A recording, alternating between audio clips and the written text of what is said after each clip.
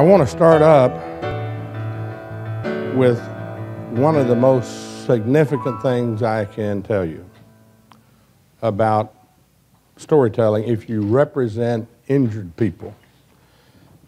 If it's a products case, if it's an automobile case, if it's a malpractice case. And this can also apply to some contract cases. It is a phenomenon that several of our uh, consultants, jury consultants, and trial lawyers have witnessed and reported on in the last few years.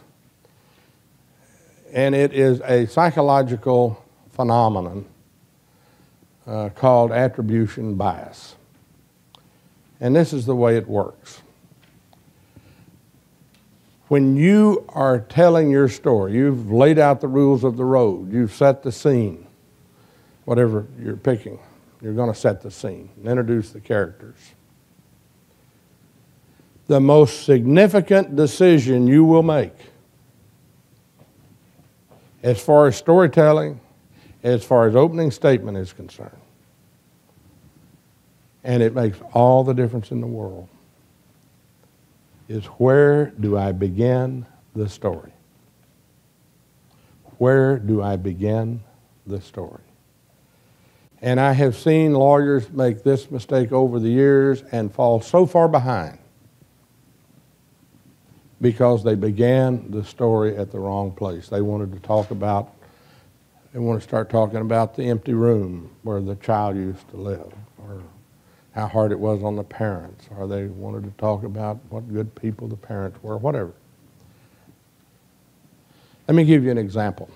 I'll, uh, it's similar to an example that um, David Ball likes to give. Mine's a, a little bit different original with me, but the concept's the same. Let's say you represent a lady, Sarah. And Sarah has worked for 20 years at a large oil company in their division orders department, getting division orders out every month. And Sarah is divorced. Her children are grown. She's living by herself now. And so she comes in every day at 9 o'clock. She is there. She's the most dependable employee you can imagine. And at 5, she leaves because she's always caught up on her work. And she drives about 20 minutes to work, 20 minutes. She doesn't live too far out in Houston. And she takes the same route home every day, and she takes the same route home the next, to work the next day. But today, Sarah decides she's caught up on her work about 1 o'clock, and she says, You know, I've been working real hard. I haven't had any time off in a while. And you know what? I'm just going to go up to the outlet store up by Brenham. I'm just going to do some shopping. Find me some bargains. We all know how bargains turn women on, so I'm going to go find me some bargains.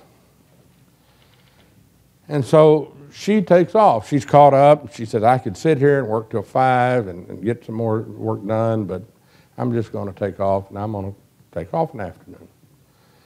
So she takes off, and she's going to go up to Brenham, the outlet store. Well, she's getting out that way, and she thinks, well, you know, it's just my afternoon off. Instead of taking I-10 the quick way, I'm going to take the scenic route. I think I'll go the back way out 290, enjoy the scenery, take my time. I'm just going to, you know, go and so she's going there. And then she's out after a while. She said, you know, I think I'll, I think I'll just stop and get me a cup of coffee. And uh, she sees a McDonald's, and so I could pull through, as most people do, and pick up the coffee and just take it and drink it in the in the car while I go on up to the outlet, but I'm not going. I'm going to just pull over and I'm going to go in. I'm going to sit in McDonald's. And so she sits down in McDonald's and she has her a cup of coffee and she meets uh, some one of the locals that has a little visit with them, just talking about you know the neighborhood and things they've built up. Well, she's in the coffee shop, probably 20 McDonald's, 20, 25 minutes. She gets back in her car and then as she's getting up close to the outlet center and she's approaching an intersection, the light turns yellow. Now she can go on through because she has the room for that, but she decides, thinks about it for a second. Uh, you know, I'm going through. No, I better stop. And she comes to a controlled stop, and a second later, boom, an 18 wheeler crashes into the rear of her car. Now, what happens if you tell the story that way? I mean, here's a woman, rear ended, shouldn't be any question about fault, should there? But if you tell the story that way, what will happen is that your listeners will start saying, well, now, wait a minute. If she had just worked that day and not taken off, this accident wouldn't have happened. If she had not taken the scenic route up to the outlet, this accident wouldn't have happened. If she hadn't stopped for a cup of coffee, this accident wouldn't have happened. If she had gotten a coffee and driven instead of going inside and spending 25 minutes, this accident wouldn't have happened. If when she got to the yellow light, she'd gone on through, this accident wouldn't have happened. Before you know it, everybody is thinking of all the things your client did wrong. So, remember, the principal rule for us that represent citizens, individuals, working men and women, in our cases, is it is the defendant that is on trial. The defendant is on trial. That is why when I am putting on my plaintiff, I, number one, want them on the stand for as short a time as I can get by with. Now, I know that that is counterintuitive. You want your plaintiff on the stand a whole bunch, but you really don't. But when you're telling your story, start with the antagonist, the defendant. So in Sarah's case, you wouldn't start with, she was a good worker, she always did this, did that. You'd start with the trucking company. ABC Trucking Company runs a fleet of so many trucks. And this day, the driver had been on the road 10 hours before the accident happened. Or this driver had had three moving traffic violations, or they don't check them, or whatever you've got that's going to help impose liability on the defendant. Start with the antagonist. Now, here's another thing, maybe a little counterintuitive. When you are putting your client on, concentrate on the before, not the after. Talk about what the family was like before the injury. Talk about the happy family that existed before the person was killed. Talk about the happy family before the injuries. Concentrate on the before. Most plaintiff lawyers want to spend all the time talking about the after, but you want to talk about the before because you want to make that contrast really good. Second thing, do not use your plaintiff to talk about the after. Use family members, use neighbors, use everybody. You don't want your plaintiff talking about, oh boy, I'm hurting, I'm so bad, so I have some, that comes across as a whiner. Third thing, when you're asking somebody about, you're trying to develop the character of your client, do it with stories. You know, I have seen lawyer after lawyer, they'll they've got their checklist and they'll be sitting there and they'll, well, was in a death case. Was Sarah a good mother? Did she love her children? Was she a good wife? Well, yeah, yeah, yeah. And the jury's sitting there, okay, so what? You don't do it that way. You have a witness on, and so you've got a, you've got a client uh, somebody that's hurt or somebody that's dead. And in your interviews with your clients, they say, She was so helpful at work. She was always helping us out. You don't say, Was she helpful at work? You say, Tell us about the time Sarah stayed late with you to get that project out. Let them tell the story. Tell us about that time you made the mistake at work and Sarah stepped in and took responsibility for it, even though it wasn't our responsibility. Tell us about that. So you do it with stories. You have your story, and then in your story, there are many other stories that you can tell. I don't care how smart you are at drafting questions or drafting cross examination. If you focus on what you're asking or what you're saying, you will not be an effective examiner. It is all about nonverbal skills. Storytelling is all about nonverbal. You got to have a good story, but you've got, as we've seen with the example of the two Kennedys, you have to capture the mood, you have to be able to show you're credible. When you are doing the direct examination, you are not the storyteller. Now, for some reason, lawyers are convinced that they've got to be the storyteller at every stage of trial. When you're doing the direct examination, you are not the storyteller, your witness is.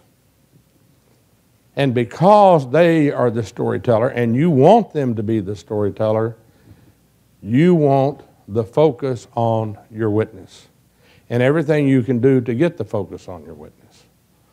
That's why when I'm preparing a witness for trial, I will go and sit with the witness and go over things we're going to cover, find out more things I need to find out. But I will always sit the witness in my office or my conference room. I will sit over here and I will bring one or two of my people to sit over here. And I will say, I'm going to be asking you some questions, but I want you to. I said, Do you have a friend that just, you know, girlfriend, boyfriend, when you get with them, they just never have anything to say. Oh, and everybody was, oh, yeah, John's that way. I mean, you sit around, he doesn't have anything to say. I say, okay, I want you to consider that even though I'm asking the questions, I'm like John. What do you do when John's there and he doesn't have anything to say? You don't just ignore him. No, I look over at him. Well, the jury is like John. They don't have anything to say, but you got to talk to them. So we work on question, answer, eye contact. Now, you don't want your witness sitting there staring at the jury the whole time. You're asking questions, and yeah, that's right. No, that doesn't work. But it's kind of like a video game, you know, one of those Pong games. Bong, bong, bong, bong. That's kind of what you want. Question, I understand the question. And the answer is because I don't want to leave John out. Here's part of the answer, and then, you know, you, you train them, you work with them, you get them, uh, get used to talking to this person over here that is your silent friend. Because you want that jury making eye contact over here, and then get your client used to the fact of saying, now, look, I'm going to ask you some questions but I'm, I do not want a long narrative. So if I ask you something, I'll try to break it down so we don't get into a long narrative because let's face it, jurors do not like long narratives. They really don't from a witness. I mean, tell us what happened. Well, I got up that morning at 9 o'clock, and then I had breakfast at 9.30, and then you know, this happened. Then I got to work, and then I left work, and it was an argument. Then I went up to the outlet center and all that. They don't like that. They, they want a give and take. And so you need to explain to your client. I'm going to give you every opportunity to tell your story. You're the storyteller. Now, on cross examination, it's the reverse. And I will say something when I've told people this, they say, How do you do it? And I say, You just do it. The witness is irrelevant. I'll say it again. The witness is irrelevant when you're cross examining. You are the storyteller when you're cross examining. You are the storyteller. You give answers. And you ought to be prepared when you do it. You know what story you want to tell. When a witness gets on the stand, you know what story you want to tell. Or you should. Basically, who is he? What does he know? How does he know it? And you're going to want to bring out parts of the story that they didn't bring out. And you're going to want to try to bring it out in a story form. I don't care if you're talking about science, make it a story. But you're the storyteller, which means that you make statements that they have to agree with. Now, let me talk first about a visual aid that you can all use, you can all do, doesn't cost that much, and can be very, very effective. And that is a storyboard. I use storyboards in every case. Now, a lot of lawyers now that have the PowerPoints and the computers, they like to do it all on the computer. And I've talked to a lot of jury consultants who tell me that they feel that there's a lot of lawyers, particularly in those that are doing well and have the money to spend on technology that are really overdoing it and, and, and losing the jury, particularly if you have an older jury. What you do has got to be pretty framework. If you got a real young jury, you use more technology. If you have an older jury, you don't use much technology. It's a general rule. But the problem with using computer projections for everything is it disconnects you from the jury. Oftentimes, better than the computer PowerPoint is just a board. Now, the one board that you can use in every case you have that is, in my experience, really essential is to put together what I call a storyboard. It helps you tell the story. Now, here's a case, I think it is in one of the uh, closing arguments or opening statements in the back of the book involving the lady who had the unnecessary mastectomy. But this is the storyboard we used during opening statement and then we came back and referred to it again in closing argument. But it's got the picture of the plaintiff, which you can have, the picture of the doctor who was not a defendant but involved, the picture of the doctor who was involved because he had done the surgery, who was a defendant, the picture of the pathologist, the picture of the hospital, and it goes through what happened a picture of, the micro, of a microscope, and it just goes through the story all on one board. Now, the story is pretty complicated here, so we had to cut out a lot of things to get it all on one board. But the interesting thing is, if you have a storyboard, it also allows you not to use so many notes because you know you're going to be referring to things up here, and it also lets the jury follow it. And if I'm standing here and I'm talking about Lois and how she felt this lump on her breast, I can stand next to her. You can see Lois, and, you, and I can still make eye contact with you. Now, in this particular case, I didn't begin with a storyboard because when I give an opening statement, I always want to stand right behind my client when I begin my opening statement. And I began that opening statement with Lois, you have cancer. We need to operate right away. That's the way I began the opening statement. And the reason was, was because that's what, after they had done this biopsy, they came in her room and told her when they hadn't even gotten the frozen uh, section, the permanent sections looked at, which later when they looked at them, she didn't have cancer. They were going on the frozen section, which had not been properly uh, treated or examined.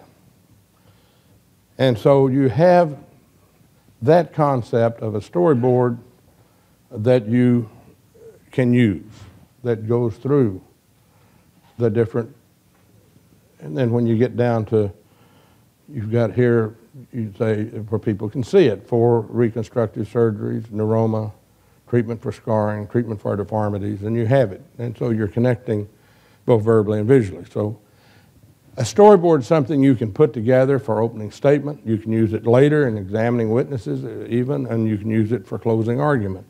But basically, it's just like if you ever did, as I did when I was a boy, vacation Bible school.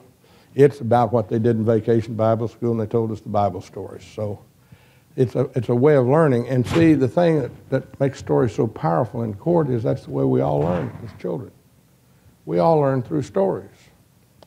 And that's why it's so powerful, even in the courtroom. Another thing that you can illustrate that, that's good to have by way of a visual aid is what you call comparison, what I call right way, wrong way. It's always good to have right way, wrong way. And you can use right way, wrong way in so many ways.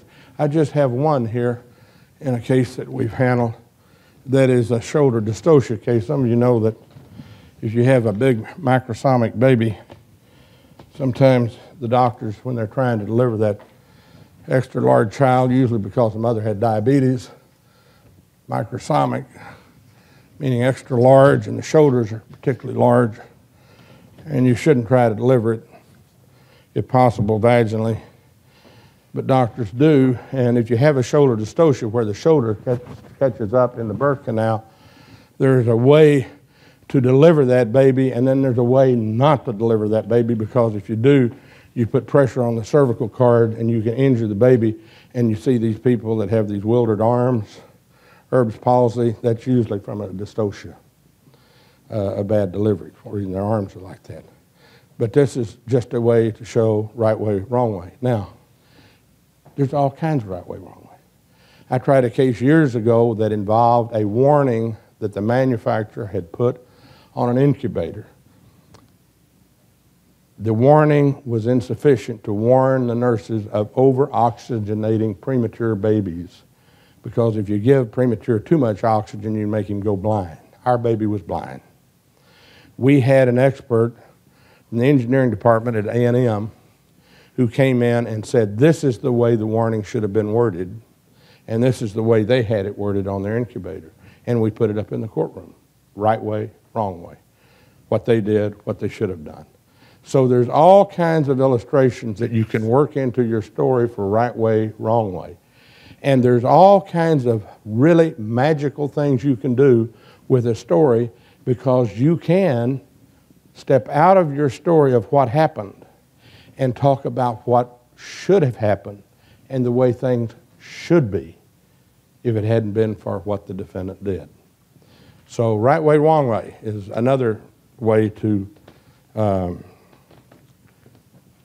illustrate things. And then next we have, I think, some we're going to just put up real quick uh, to show. Here is a uh, timeline. This was a case where a woman came in and breech, and uh, there was a delay in delivering the child, and he ended up brain damaged. And all we wanted to show was the delay.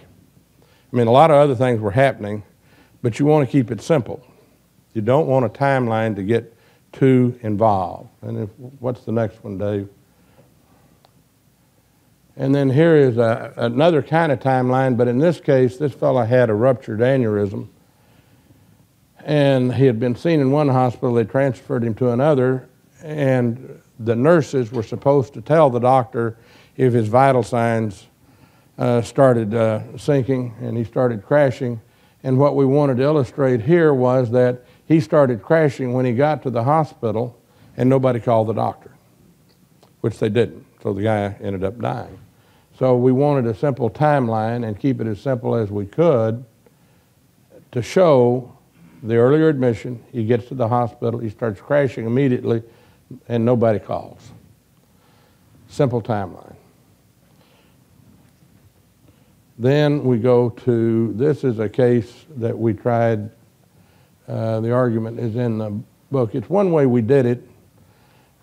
What happened in this case was that it was an anesthesia mishap. And if any of y'all ever handle these cases, when they give anesthesia to somebody, they have an anesthesiologist there ministering the anesthesia, and they have a chart, and they're writing down the vital signs as the procedure progresses.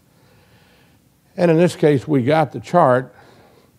And if you believe the chart, this man went in, slid into an arrest, and uh, they pretty well got on it. But we requested, we had a hard time getting it. The new anesthesia machines have what is called a memory capability.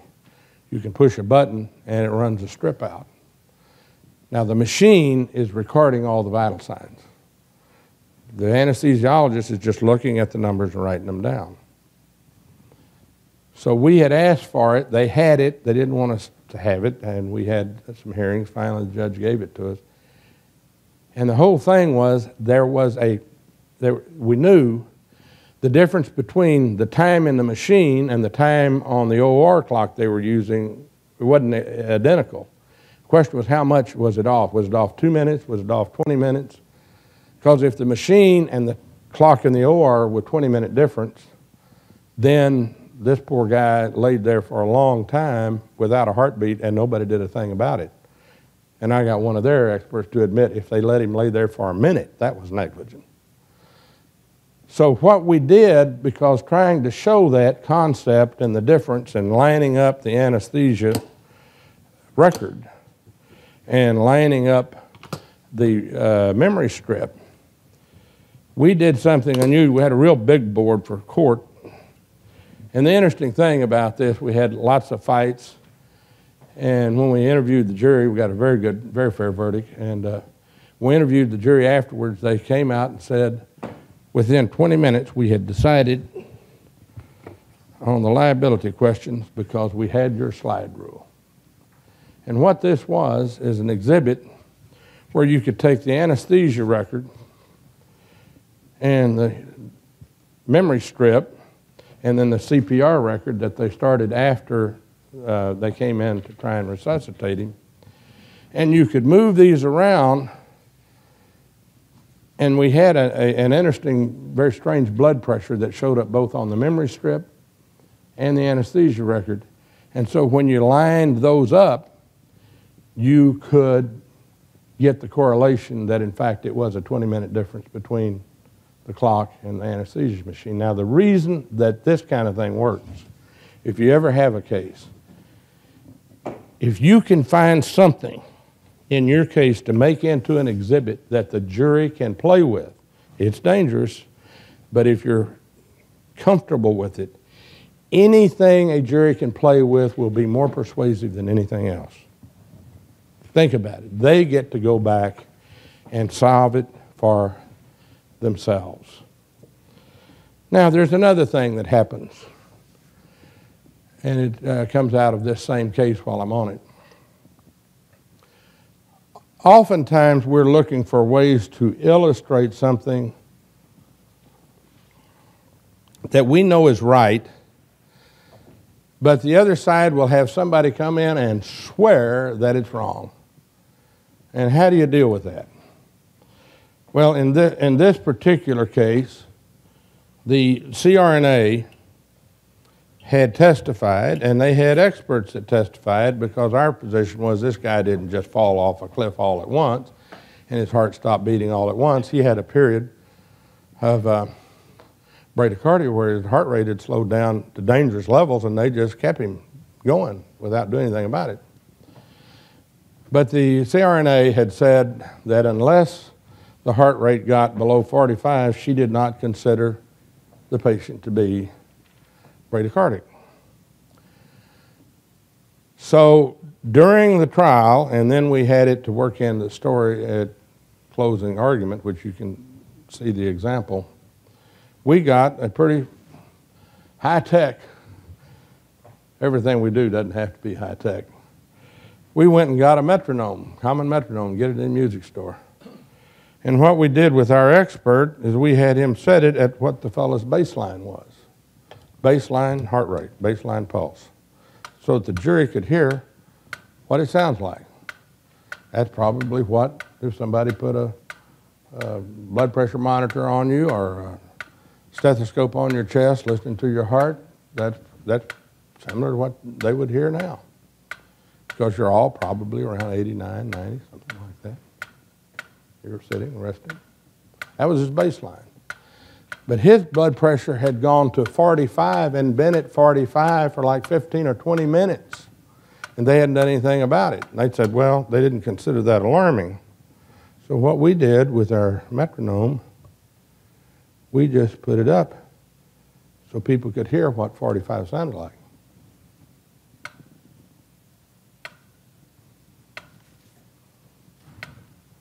And we were able then, in closing argument, to say, you know, work it into the story that, you know, they were saying,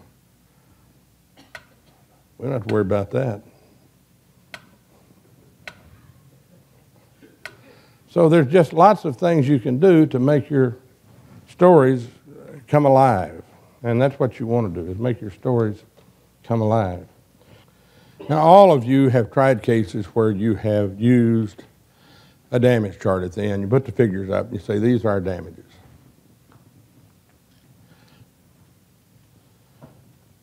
Special damages, general damages.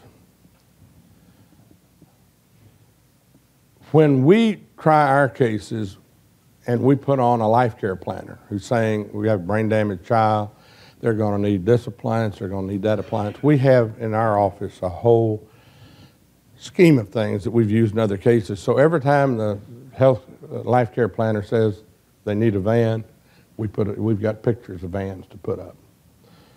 Uh, when they say they need this kind of uh, device, uh, exercise device, rehabilitation device, we've got pictures of it to put up. People don't like to buy something that they haven't seen. That's just a simple rule of persuasion. And if you're asking people, well, this lady and this, this poor baby needs all this, trust us, it's out there, we can get it, that's a hard sell. But if you've got somebody on the stand testifying and saying, they're going to need this, a picture goes up. They're going to need this, a picture goes up. This picture goes up. Now, when you get to the end of your case, there are people, this is kind of an exception to keeping your exhibit simple.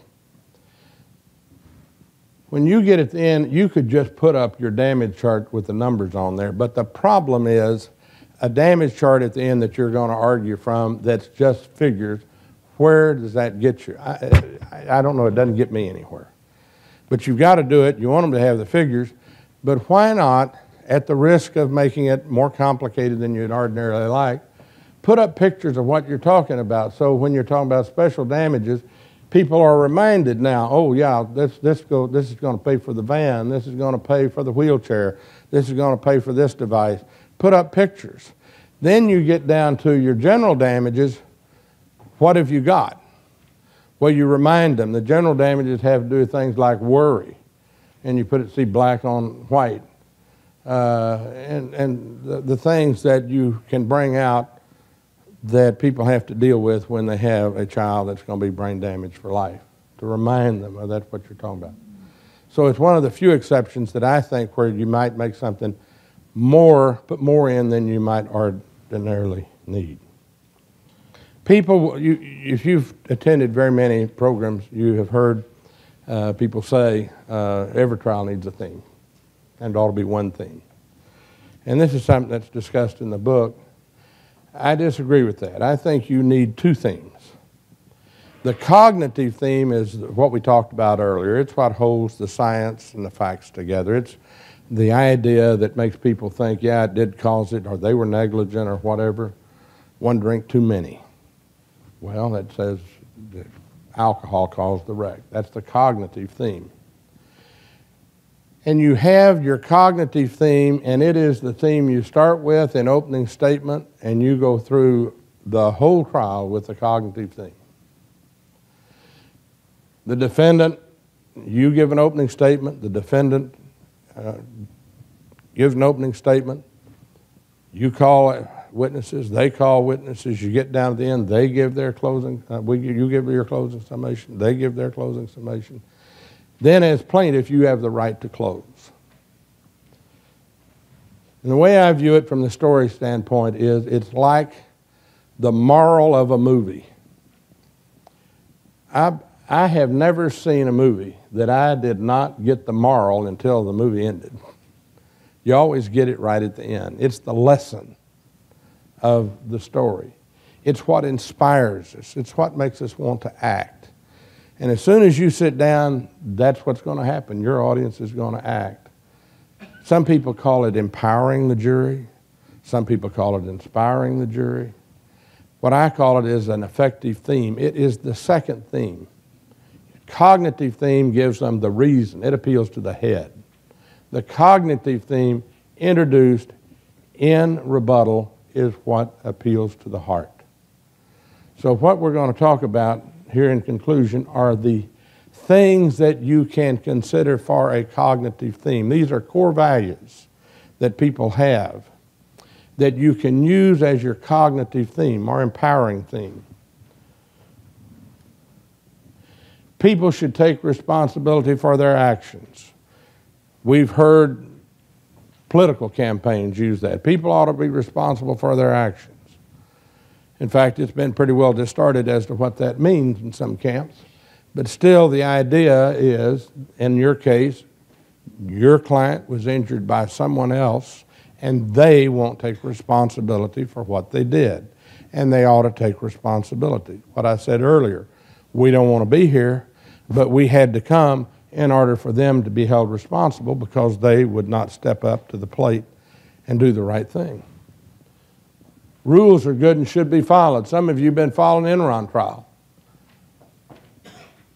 And the prosecutor put up, as part of the prosecution's opening close, they had a big sign, a statement from Ken Lay that said, We should not be a slave to rules. Because the prosecution's big point was the people at Enron didn't follow the rules. So people want people to follow the rules, and it ties in when you use the rules of the road earlier in your case. People think you ought to follow the rules, particularly when they make their rules. Hard work and perseverance will eventually triumph. Honesty will eventually be rewarded. Good people will come to the aid of those wrongfully injured and deserving. Simple and uneducated working men and women possess a special ability to recognize truth and cannot be easily deceived. Those are all uh, rules, core values, things that you can appeal to. All right, I want to close by telling a story. Good afternoon, everybody. Welcome again, and uh, hope everybody had a good lunch. My name is Michael Black. I'm proud to be a lawyer in San Antonio. And I think that we all have the calling. I think being a lawyer, as, as Jim I think would concur, and as we've discussed, is the highest secular calling that anybody can have. And what Jim has done this morning, and, and then again in this question and answer session with all of us, is to really show us uh, how to unlock the code to being the best lawyers possible, the best advocates possible uh, for our clients with the storytelling. Let's find out a little bit uh, Jim Perdue about your background, uh, not only as a lawyer, which we'll get to in a minute, uh, but also as, as a person. Tell us a little bit about uh, where you grew up and, and what were your influences in being a good storyteller and in being a great lawyer. Well, that's a open-ended question, isn't it? I'm not sure I have the answers to some of that. But I was born in Dallas, Texas, and um, and grew up for the most part in Dallas, but then uh, we moved around a lot. As I tell people, my father was into creative finance before it became popular, which meant he spent some vacation time up in Huntsville. So um, we were we grew up very poor, and uh, my mother was a legal secretary, and she was the most saintly woman I think I've ever known. And um, biggest influence in my life was uh, my mother and my grandmother because when I was a young boy, my mother worked. I never knew a time when my mother didn't work. And uh, my grandmother raised me. And um, so they were probably the most influential people until I got into high school. And then when I got into high school, of course, our father was not around. I had one brother and I started hanging around with a fellow who just died here this year. I gave the eulogy at his funeral about three, four months ago. His name was Baxter Brown, and his uh, father was Elroy Brown. I think I've mentioned him in the book in a brief note. But Elroy was an official with the Oil, Chemical, and Atomic Workers Union. In fact, I was telling a bit of this story last night at dinner. Um, Elroy had grown up in the labor movement.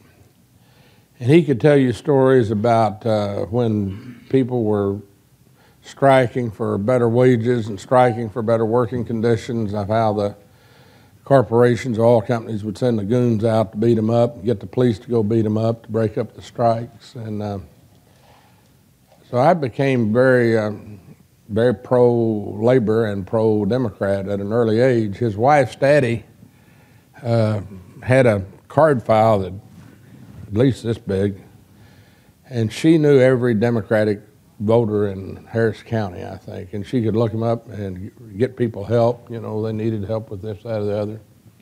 And they were very active in Democratic politics, and I, I think they were probably the biggest influence in my life and going over and playing bridge and chess all night long until the next morning and listening to them. So they were a big influence. Um, and there's a fellow by the name of Bill Kilgarlin who was on our Supreme Court for a while. That was my debate coach in college, and Bill was a big Democrat, so he was a big influence. And uh, and I think those were probably the people that uh, most uh, influenced my uh, my life. Have you always found it natural to be a storyteller and, and to share stories with everybody? That's something that came not only from your personal experiences growing up with family and friends and mentors, but also from listening to radio programs as you describe in the book. Oh, yeah, yeah. It's interesting when you grow up in the days of radio, as I did, uh, younger people never did have that experience. We didn't have television. We were poor. We didn't get a TV until everybody in the neighborhood had one. Then we got to use one. But uh, we got our entertainment as a boy. I, don't think I, I, was probably, uh, gosh, uh, almost in mid, middle school by the time we got a television. But they had these radio shows, and uh, the neat thing about radio is that it makes you make your own pictures. Uh, you listen to radio and you make your own pictures, and you learn that you can, with your words and description and the way you tell things, cause people to make their own pictures. I mean, today, if you were to try to suggest that to somebody, they'd probably turn you off. I mean, if you, you don't have any pictures, they don't want to listen. But I think it does give a trial lawyer an advantage to have grown up in those days where uh, people did and could make their own pictures. Must have been a great theater of the mind for you back in It was a great theater of the mind. Everybody had a different idea of what the shadow looked like. What was your uh, major at the University of Houston, and what made you inspired or, or to go to law school? Well, I um, grew up very poor, and when I graduated from high school, I didn't think there was a chance in the world I'd ever go to college. I had a couple of breaks. Uh, one is um, Elroy knew a neighbor who uh, worked at a smelter on Market Street and said they were looking for somebody to help out part time. And so I got me a job at a, the smelter, and I hitchhiked for from our house to the smelter, which was about five six miles, for about three weeks or a month during the summer until I saved up enough money to put down on a car that I bought, a 1953 Lincoln convertible which was uh, I wanted a Ford, but the salesman talked me into the Lincoln. Little did I know that you, you know you couldn't keep tires under it and everything that was electric quit on you after you drove it off the lot. But anyway, I, I had a car so I could get back and forth to school. I still didn't have the money to get in college because I was just able to get to that point. And I got a call from Bill Kilgarlin, who had been who had met in Democratic politics and I swear I don't know where this money came from, and Bill has never told me, but he called me up, and of course he knew my situation, and he said, uh, where are you going to college? And I said, Bill, I don't think I'm going to college because I, I don't have any, anywhere you went, you had to have money. I had gone with uh, some friends of mine up to Texas, and I, we'd, we'd looked at some of the seediest dorms you can imagine up here, and hell, what they were wanted for rent was, a, you know, I would have had to rob a Brinks truck or something to even think about paying for that. I mean, it was just out of my mind what it would cost to, to go to college. So I had kind of decided I'll just have to work at the smelter and for a year and maybe save up enough money where I can put some tuition down. Well, Bill called me and said, uh, where are you going to college? I said, Bill, I'm not going. And he said, uh, well, I have a debate scholarship for you. If you'll come to the University of Houston and debate. Of course, I, I did debating, it was great. U of H, you know, was there in town, and uh, so I said, well, sure, Bill. I mean, I'm going to U of H. So, uh, and from that time on, I have, in every way I can, been the biggest supporter of the University of Houston. I mean, uh, Noni and I go to the, all the football and basketball games. We fly with the team to games. I contribute to them, try to contribute what I can, and um, but it's my school, and so once I got in U of H, I'd go at night, work at the smelter at day, work at the smelter day, go at night, you know, just whatever. And, uh, and from the time I started in September of '57 till I graduated from law school in January of '63, I never missed a semester. Summer, fall, never. I never had a holiday. It was just work and school, work and school, because I was poor and my big fear was I wasn't going to get out. So they had a program in those days you could enter law school in your senior year and it would count as your senior year on your baccalaureate and in first year in law school. So you, you can do the math. I, I got out pretty quick, which was pretty good, but I, I, uh, I just wanted to be a lawyer and I wanted to get out so I could do it. And um, that's the way that happened. Did the help and encouragement and support that you received from family and from Justice Kilgarlin and from others who influenced you uh, help also uh, inspire you to uh, be a person and a lawyer who, who helps others and who gives back? There have been so many people in my life that have helped me that that's why I, I, I, try to help others. Uh, there have been I, I have so many people that I owe so much to. I was telling Mike and them the story last night. I, I had, uh, y'all aren't old enough to remember, but we had a big recession in 1960, and um, I lost my job at the smelter, and I was working as a debate coach at the University of Houston, but it didn't pay anything, and I didn't have enough money to finish.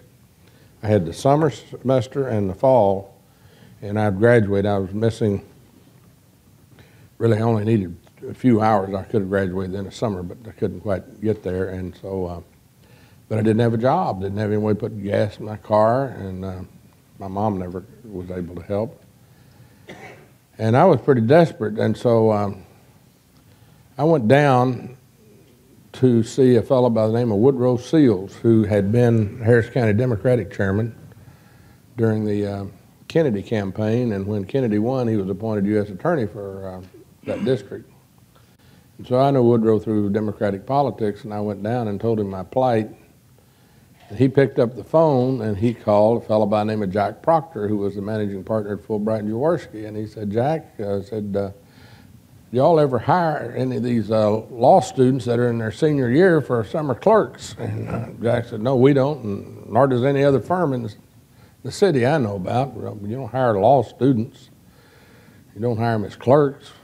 And uh, Woodrow says, don't you think it'd be a good idea if y'all tried that, get you a chance to, you know, see what a young man looks like before he gets out? And of course, we had had one graduate from U of H, uh, a fellow by the name of Royce Till, who worked at Fulbright. Because U of H in those days, we were in the basement. We were not considered a acceptable law school. You know, they big firms all hired from Texas, Yale, and Harvard, and SMU. And so uh, I went over and saw Jack Proctor. Uh, Woodrow got me in, and Jack said, Well, we're going to hire you during the summer. So I worked during the summer, and when the summer was over, Royce Till, who I had done some work with, said, We want to offer you a job. And I said, Well, Royce, I, I appreciate it, but I don't think I can take it because I have my service I have to do. And he said, Well, you're old enough, you're not going to be drafted. And I said, Yeah, but you know, I have had my deferments, and there have been, this is when Vietnam was just starting up, and I said, there's poor people that, that are going off service. They, they don't have deferments, and they had to go, and I don't think it'd be fair that I didn't have to do some service just because I could get deferred long enough to get through college and law school, and I feel like I need to do my service. And I was looking at a JAG stint of five years, and uh, and Roy said, "Well, you know, you could. They've got these reserve programs." And I said, "Well, I, I'll think about it." And Anyway, I went back, and summer was over, and I was back in school full time last semester, and I was in the library, and somebody came down and they said, uh, Dean Blakely, who, if any of y'all have any connection to the University of Houston Law School, know he's a legend uh, there.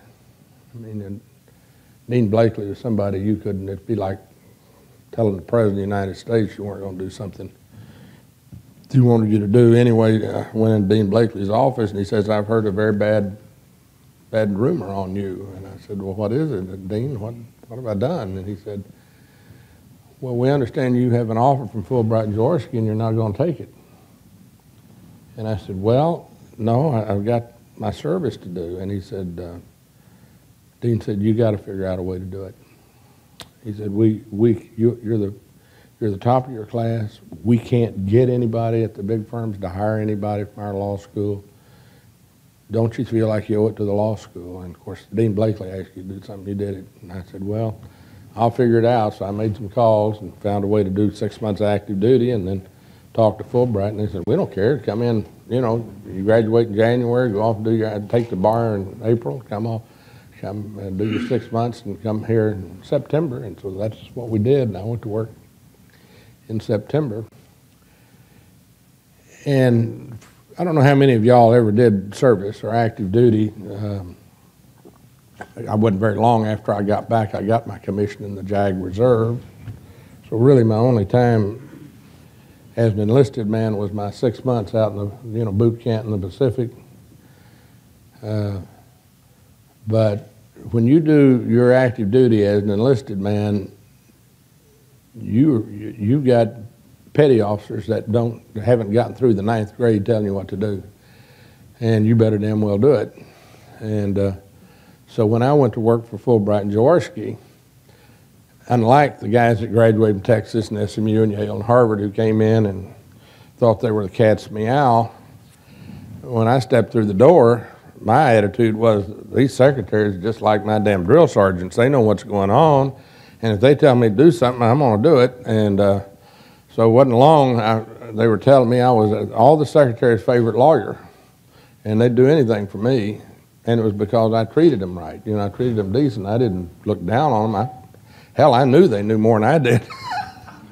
and, you know, I'd be going out now. What? Now, what should we do here? Or can we do this? Or or what? And they'd be telling me, and and other people I'd be telling them, no, we're going to do it that way. And the secretary would say, you can't do it that way. By God, I graduated from Harvard. I know how we do it. And uh, so I, it was a different experience. So I had a lot of things in my life that affected, I think, me than my, the way I look at things and do things. Well, I always enjoy uh, talking with you. We've done this before and uh, look forward to the next time. But uh, one of the favorite parts that I have in doing this together with you is, is bringing all of you guys up to the microphone and asking your questions or sharing your stories along with Jim Perdue. So if anybody has any questions from the presentation from this morning, uh, or from our exchange right now, please feel free to step up to one of the microphones that are set up on either side of the table and share it with us. Yes, sir. First of all, I'd like to say I truly enjoyed today's presentation. I have a unique practice in the sense that most of my caseload involve breach of contract cases, uh, primarily from a plaintiff's viewpoint, but they're tried almost exclusively in front of an arbitrator or in the bench trial format. Could you please uh, provide me with perhaps any additional wisdom or uh, the asterisk to the, the wisdom that you provided us today on how you would take what you've learned and distill that into a recommendation that you would give me uh, in my practice for breach of contract in the bench trial or arbitrator format? Thank you.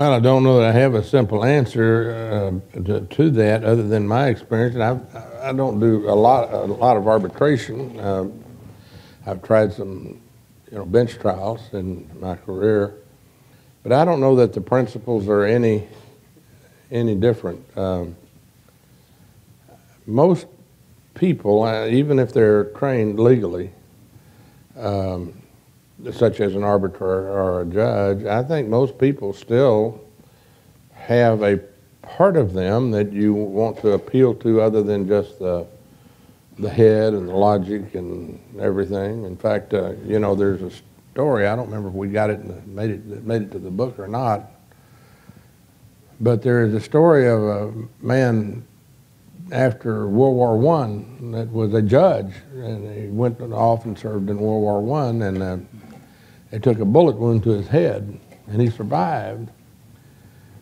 But it knocked out, not the logic part, it knocked out the part of his brain that we would call uh, emotion or values or, you know, the, the just the, the sense of what is right and wrong. I mean, he still was very logical, but he resigned. I mean, it's a true story. He, he resigned as a judge because he said, I cannot be a judge anymore because I do not have the ability to understand compassion and mercy and love and charity. I, I don't have that ability anymore. And he resigned. So I, I kind of put aside the idea that, you know, all judges are heartless or all arbiters are heartless. I, I, I think it's really no difference. You need the same elements of your story. And um, I don't know if I were presenting something to an arbiter, I'm not sure I would change up much of what I would do before a jury, but that may just be me. But I think even, you know, the neat thing in my practice that I'm finding, and it gets more and more this way, and uh, judges, when I come into their court, courtroom and say, we're going to trial, and I hadn't been to trial in a while, we've got some coming up, but judges, when they find a good lawyer coming into the courtroom with a, a significant case, they really want you there because they don't get to see very many interesting. Most of the stuff they do, they'll tell you, is real dull and dully done. You know, they, there's a saying that um, uh, drama is life with the dull parts taken out. Well, there's some lawyers that believe that a trial is drama with the dull parts put back in.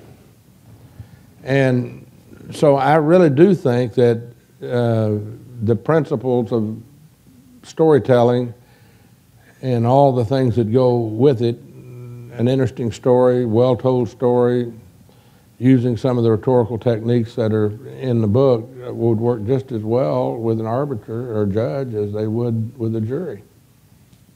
Be my thinking. Um, and a lot of the things, I think, for example, the um, the rules of the road thing that we talked about this morning, I think that would work very well. Um, that is a very good technique, and then you build your story, you know, from that. I mean, the judge has got to understand in a contract case, if you go in and you're the plaintiff and the rule of road is, you know, you that this means this, or that, and why why does it mean that? The reason for the rule, how the defendant. I think that'd be a great schematic to use in a presentation in a contract case. Thank you, sir. Yes, sir. Thank you. Um, first, I do want to thank you for the presentation today. I'm a, I'm a trial lawyer. I've been, been so for a while. Uh, I do much more criminal than civil, though I do civil as well. And I, I think you've done a lot towards uh, refreshing my memory on a lot of things that I'd, had gone away and also enhancing in some things. One thing you touched on and that I've heard of but I've never really gone into is the concept of psychodrama. Uh, you mentioned it without going into it. Uh, I, I would appreciate if you could spend a few minutes discussing that. I'd Be glad to.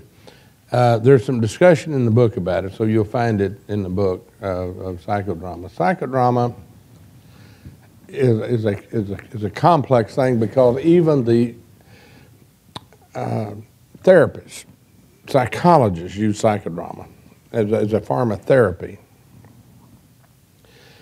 and there's all kinds. They they do it all kinds of ways. They they might, for example, they might say if if they're using it with a, um, a parent having trouble with a child, they might ask the parent to play the role of the child to try and get insight into why the child's doing what he is or what the reaction is. Or they might, when they're working with a husband and wife, get the husband to take the role of the wife, and so that, that's the way therapists use it.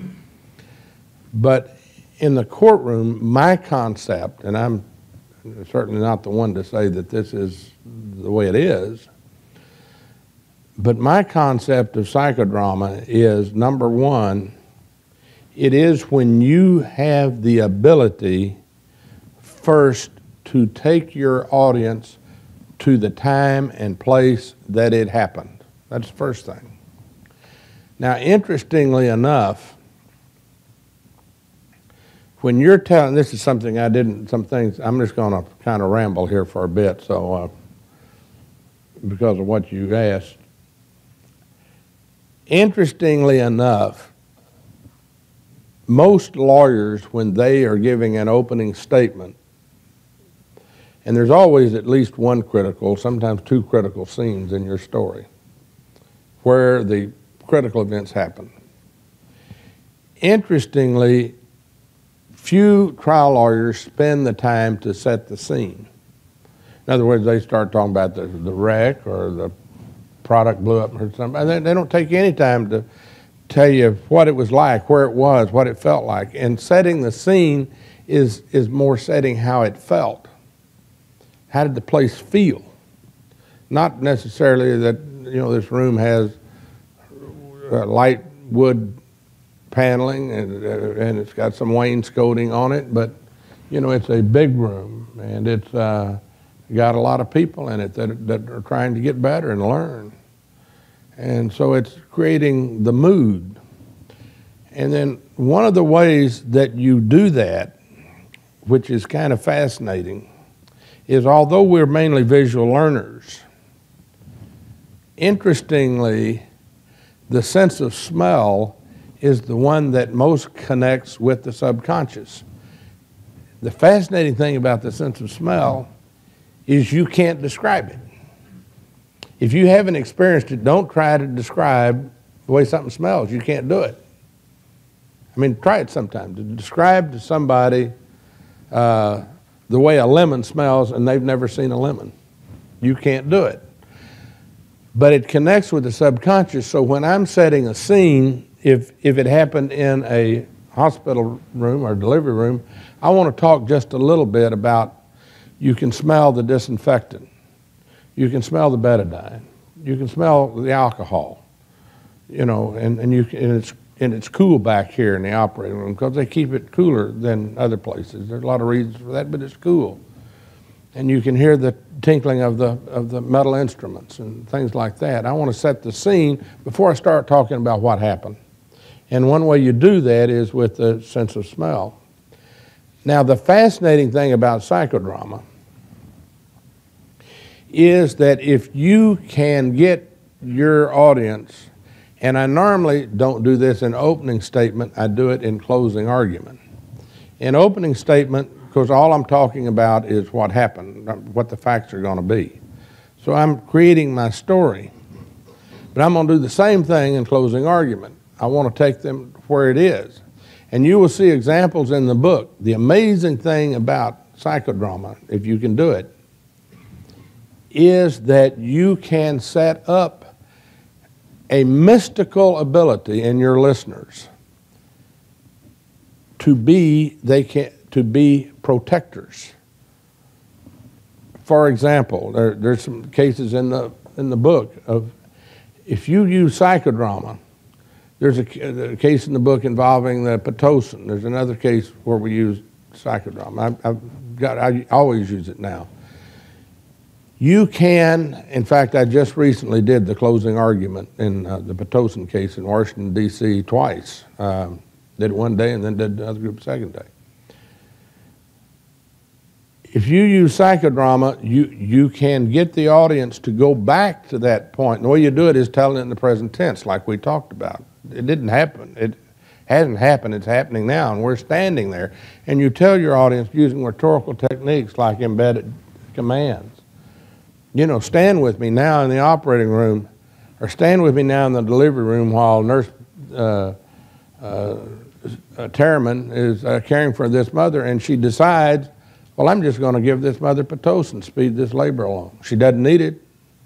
The doctor hadn't given an order, but she just decided, I'm going to give her some Pitocin. Now, stand with me in the, in, the, in the delivery room as Nurse Terriman goes to the supply cabinet. And she opens it up and she pulls out a vial of Pitocin. Don't we want to yell at her? No, don't do that. That can overstimulate the uterus. You give this mother Pitocin when her labor is progressing normally, you give her Pitocin and you can rupture the uterus, blow the uterus out, brain damage the baby. Don't do it. And then you can talk about, and then she brings the Pitocin over and we see her setting it up for the piggyback drip. Don't we want to yell at her? Don't do it. Don't give this mother Pitocin. You don't have a doctor's order to do that. And then when you do it that way, you see, you can really get the jury involved. And then, if you want to get really ma- magical, after you do that, the jury's already heard all the evidence. And this is what we do, and, you'll see the example in the book. What you can do is you get to a point you can say, all right, let's go back to the labor room, and the nurse does the right thing. She does the right thing by deciding, choosing to do nothing, because this mother is progressing normally, well. The obstetrician's going to be there in 20 minutes. This baby's going to be delivered. It's going to be healthy. It's going to be normal. She does the right thing. She hears us. She started to give the Pitocin. We said, Don't give it, Nurse Terriman. Don't give it. And she hears us. And so she doesn't give the Pitocin. Now I'm dealing with a brain damaged baby. So now I can take, and I've, I've got a chart that I use, which is a milestone chart. And I say, Now the baby's delivered. At six months, he's crawling. At a year, he's walking. I've got this whole chart, and I go through a normal life. You know, when he's walking, when he's talking, when he's doing this, when he's doing that. And when I did it, fascinating thing, both times I did it, the people were crying. The imag- uh, picturing the way the child could have been, as to opposed to what we had already shown on video, videotape, which was a tragic picture of a brain damaged child. And you start talking about the way it could have been. So, th- psychodrama in the courtroom can be really magical. Does that help you any? Okay. Thank you, sir. Any other questions or stories or comments? Question. Yes, sir. Jim, it's fallen the lot of some of us to present those excuses on behalf of the defendants. Uh, What uh, advice or tips or recommendations would you have for those of us that do that in opposing guys like you? I spoke in uh, some years back. I was invited down to Acapulco to uh, go speak to the uh, defense lawyer group. I know y'all have a couple, uh, the national group. You all right? Uh, well, I might have been to the RI. I don't remember. It's a big group. I was by myself. I didn't have a lady in my life at the time, and went down by myself. When I thought there might be something to do, there's nothing to do if you're by yourself. Walk the beach. Uh, but uh, anyway, um, uh, they asked me to come down and speak in that same regard, and I and I told them that I think the biggest thing that I would tell defense lawyers is that if you're going to defend a case, you have to have a competing story. And to, to think I'm going to defend it on the basis of, well, that isn't true, that isn't true, that isn't true. I got an explanation for that, which is the way a lot of defense lawyers do. I don't, I think you run, uh, run risk of not being very effective. I think you have to get up and have a competing story.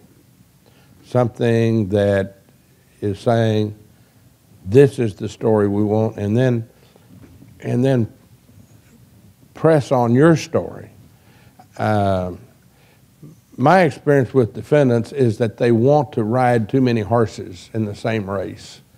And, uh, you know, a trial's not a relay horse race, it's really just a horse race. I mean, your horse is going to win or lose. And uh, the fact you can get on more horses than one isn't going to make you win. And that's what I find is that defendants just can't figure out what one they want to ride.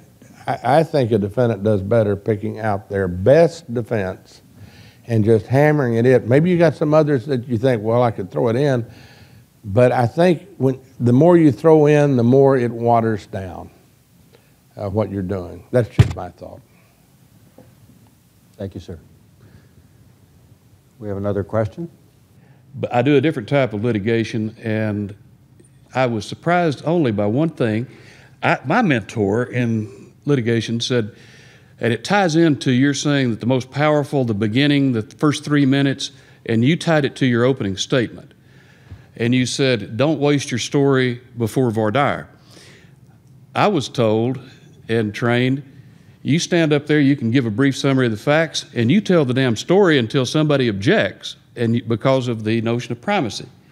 And that, that three, and so we used to do, my mentor and I did a three minute drill. We'd come up with the theme of the case. I'd be going, it's generally custody litigation. I'm a divorce lawyer. And I would come up with something uh, that I know that somebody's going to object in about three minutes. If I'm standing up there making a final argument, is the first thing I say to them. And I didn't, you know, but I walked up and started talking about the facts of the case immediately. And I was just wondering what is the what is the reason for not doing that, Mr. Perdue? How, how, uh, how old is your mentor? Uh, seven or eight years older than I, and I'm 60. When, when, about what time would your mentor have started practicing? When did he start practice? I think he went to law school later than I did. So he started probably in 1970. I got out in 68. Well, let me remind those of you who don't go back as far as I go. I'll tell you how all this came about. And tell you, um, I think I can explain. When I got out of law school in 1963, our rules of procedure did not provide for the giving of an opening statement.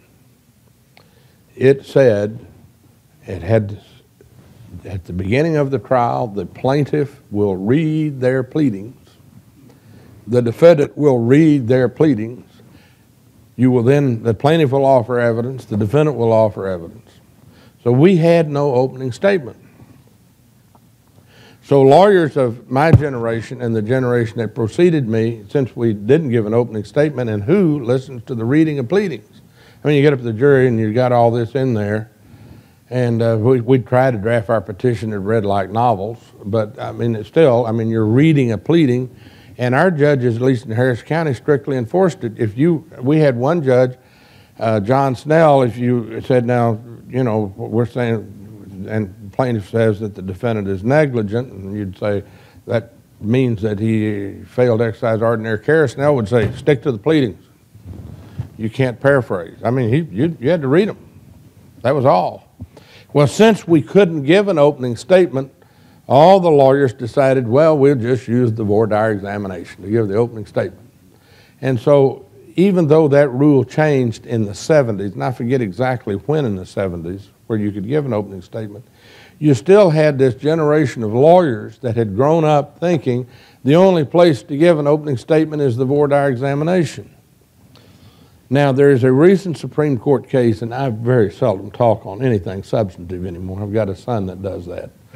Um, but there's a recent Supreme Court case because for, I have written a number of articles over the years where I have been suggesting do not talk a lot about your facts during the voir dire examination. And the Supreme Court cited me in a case that they reversed on, on for some uh, uh, failures to grant challenges for cause, and I don't want to get into all of that. But the problem with doing what you suggest is that if you're going to go for disqualification for cause, and you get up and start talking about the facts of the case, you run the risk of having somebody say, well, you know, if you prove that, I'd have to go with you. And so you're losing your good jurors. And my feeling is, and I'll give you an example here in a minute how to do it, but not do it. So my feeling is that you, you want to get up and you want to say, this is a case about Sally Jones, who went to see her doctor because she was having trouble with her hip. The doctor implanted the prosthesis. A month after it was implanted, the prosthesis broke. The prosthesis was defective. It wasn't made to specifications, and she has sued the manufacturer. That's it. She's had a lot of complications. That's enough. And then you then you ask questions. But the problem is if you do what you're suggesting, you run the risk of losing a lot of people, and people, as they have gotten more sophisticated, my experience is they start holding it against you. Where they're saying you're trying to, you're trying to convince us, you're trying to sell us on your side of the case before we even get picked on the jury.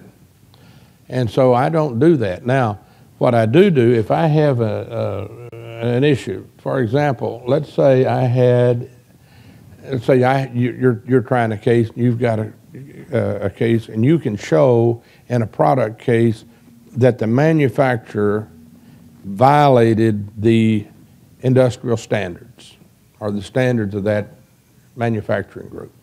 Good case. I mean, show, by God, they violated. You're tempted to want to get up and say on voir dire examination, and our case, we will have evidence that they violated their own standards. Well, why do you want to do that? Isn't it better to say, instead of saying it, to get up and say, this is a case about a product defect, I represent the plaintiff. Now, I'd like to know how many of you uh, in the panel here deal with written standards in your work. I mean, I'll see the hands. You deal with any written standards? You deal with written standards? Uh, do you follow them? Is it important to follow them? What happens if you don't follow them? Why do you think they're there? That's what you want to know because if you got somebody says, yeah, we got them, we don't follow them, I don't think they mean anything, that's not going to be a good audience. But if somebody says, we have them, if I was to violate the standards my company puts down, I'd probably be walking the sidewalk uh, this afternoon looking in the, you know, classifieds. Now, that's somebody you might want if you've got evidence of violating written standards. So my thinking is no matter what good point you have, you can get it out without saying it by asking about it, and that's what you want to know because you're looking for the best audience. Does that make sense? Yes. I hope it answered your question. Thank you, sir. What would you say about, about your evaluation about the status of the practice of law today and where we're going? Well, I'm not going to go there very long because I think we are on a very treacherous, dangerous ground. We have a move afoot to destroy the jury system. I mean, you can't put it any other way. We, it, we, there are forces at work to destroy our jury system, absolutely do away with it. And when you start doing things like passing caps and saying, doesn't matter what the jury says, this is what you do, uh, you're not very far from saying we don't need the jury at all. And if you talk to people, they're talking all the time now, we don't need juries in this country anymore, at a time when other countries are moving more to the jury system. But I, I think we really need to get the public's attention, get other people's attention. That, that's one of the reasons, one of the most interesting stories I have to tell, and often when I go give speeches, I just, the speech is telling the story of Bushell's case because that's where our tradition in this country of the jury system comes from. It's from those 12 Englishmen in 1670 that would not let the authorities throw William Penn and William Meade in jail just because they happened to be Quakers. Now, you know, the jury system is to prevent the oppression of government, the oppression of big business, the oppression of citizen on citizen. That's what it's all about, is to prevent oppression. And when you start telling people, in that case, the judges, you know, they, they had the, uh, the panel of judges, then they had the jurors, and the judges kept telling them what their verdict ought to be. Well, that's where we're getting to today. They want the legislature now to tell us what the verdict ought to be. My God, who believes that the legislature isn't for sale? I mean, we're going to have people that can be bought and sold like so many commodities. You know, you buy copper and buy gold, you can buy a legislator. We're going to have them telling us what a verdict ought to be, to have them tell people what they have a right to. It's scary. So I think as lawyers, we have got to, regardless of our political affiliation, Democrat, Libertarian, Republican, speak out against that and say, you know, it doesn't really matter.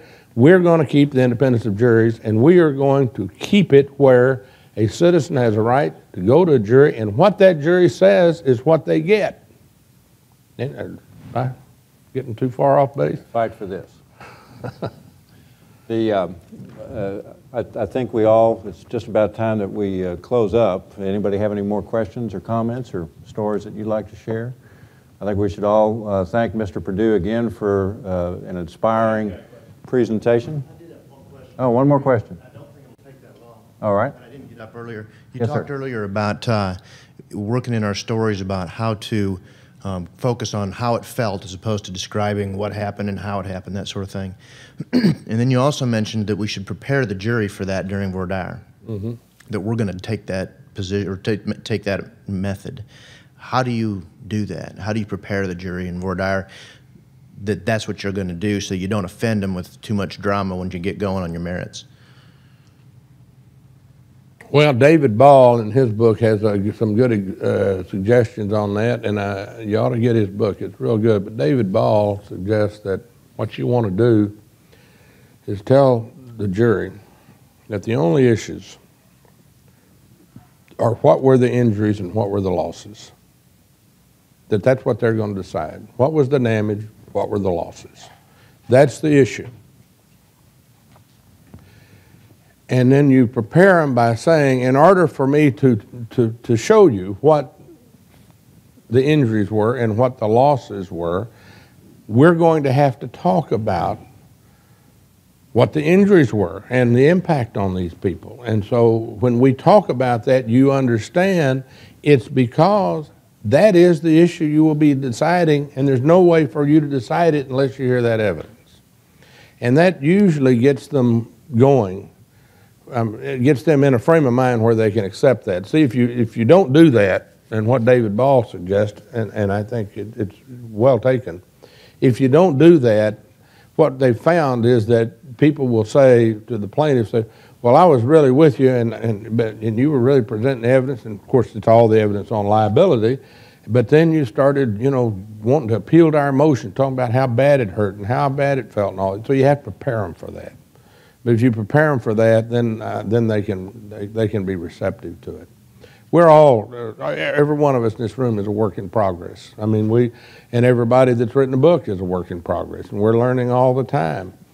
But as I said with my opening story about Demosthenes, uh, you know, there's a guy that they laughed at when he tried his first cases, and he just decided he wasn't going to be laughed at anymore, and so he started sticking rocks in his mouth and running up and down the hillsides in order to get to be a better speaker. Well, maybe we don't have to stick rocks in our mouths or run up and down hillsides, but there's always things we can do to make us better. Jim Perdue, thank you so much for, for your excellent presentation. Thank you.